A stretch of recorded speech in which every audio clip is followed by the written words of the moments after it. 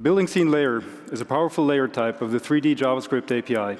It allows us to visualize detailed designs for construction of new buildings coming from BIM data.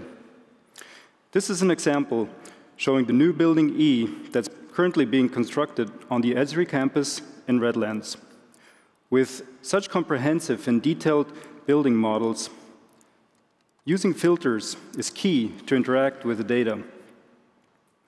This is why you can filter by floors, or really any attribute in your data.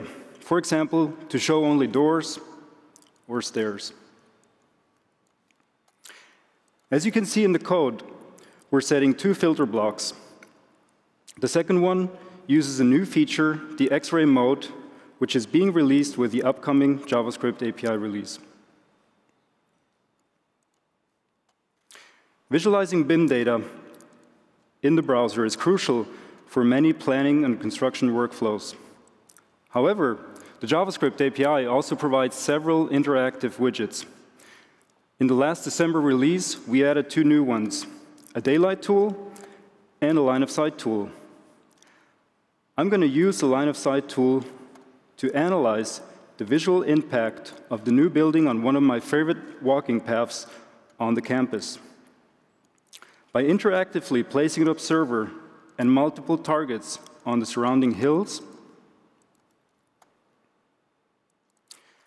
I can see that some of the mountain views are now obstructed by the new building, while others are still visible.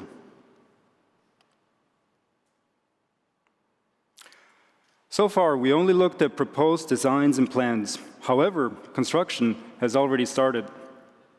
Let's take a look at how that's progressing.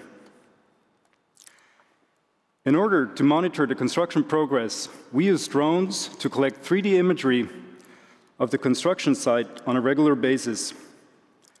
I can use the JavaScript API to visualize this imagery using 3D mesh layers.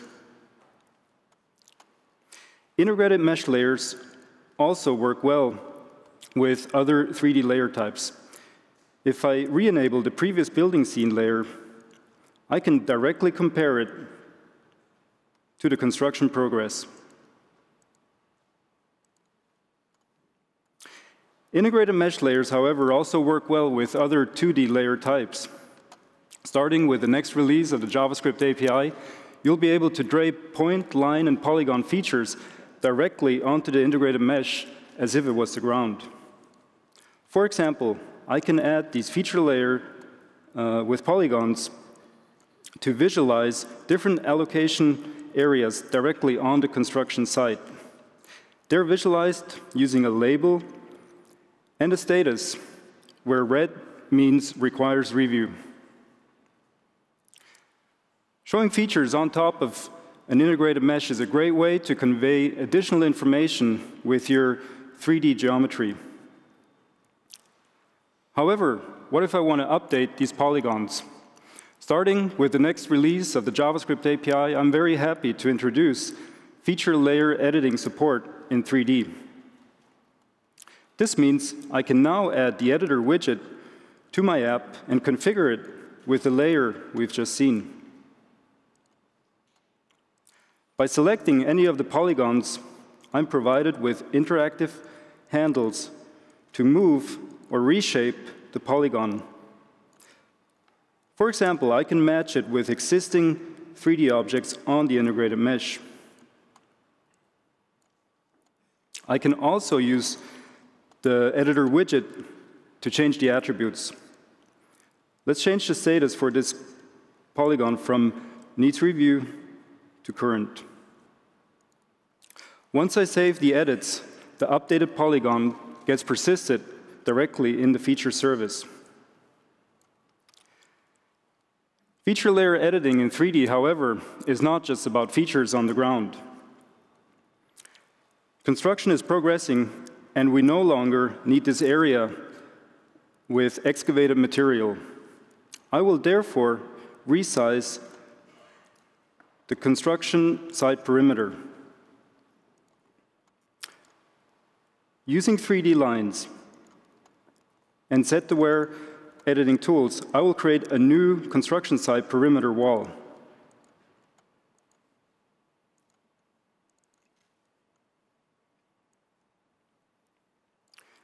Laser lines being projected onto the surrounding objects help me find the perfect height for each vertex.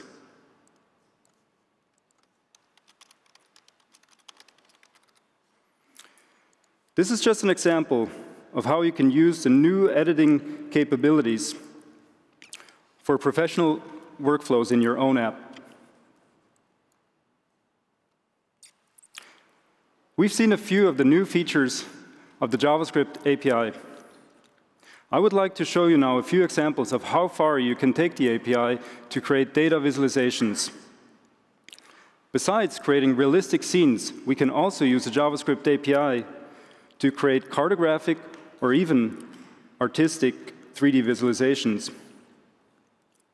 Take, for example, these 3D buildings showing San Francisco.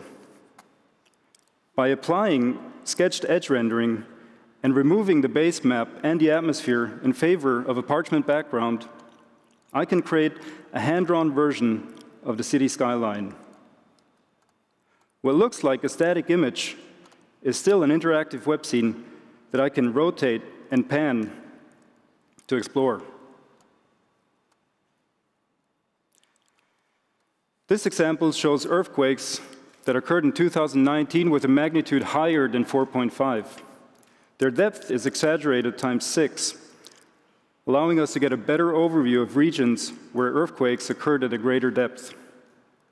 Last year, we also introduced a time slider, and I would like to let it run to give, us a time lapse of how the earthquakes occurred in 2019.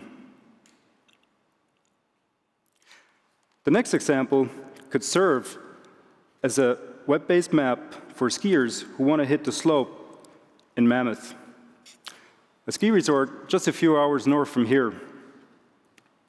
Starting with a web scene with Esri-provided elevation data and feature layers for the slopes and ski lifts, I applied custom symbology and used the mesh geometry class to create artistic 3D shapes of the terrain and the letters. The numerous lakes in the area are visualized using the new animated water symbol. The ski lifts are shown slightly elevated using new path symbology.